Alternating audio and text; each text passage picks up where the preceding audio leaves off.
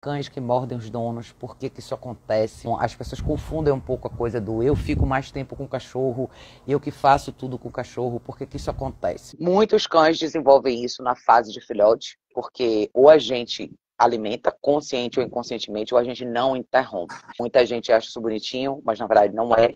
E quando o cachorro cresce, isso vira um problema. A interação com a boca é uma coisa muito natural dos filhotes, é assim que eles interagem. É um teste para muita coisa, né?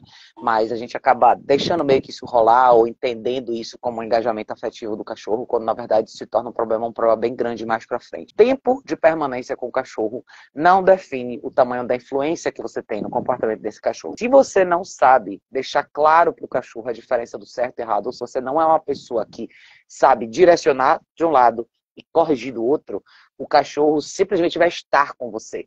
E estar mais tempo com você muitas vezes até dá para o cachorro mais oportunidade de controlar você. E muitas dessas situações o cachorro está controlando a pessoa. Eu estou controlando o quanto você mexe comigo fisicamente. Eu estou controlando aonde você vai. Quantas das pessoas falam que ah, eu levanto para ir no banheiro, meu cachorro vai comigo. Eu vou na cozinha, meu cachorro vai comigo. Isso é uma forma do cachorro te cercar e controlar seus movimentos. Quando o cachorro entra com essa intervenção, muitas vezes com a boca, é quando o cachorro realmente não tolera que você faça certas coisas. Então, é o cachorro te corrigindo versus você corrigir o cachorro.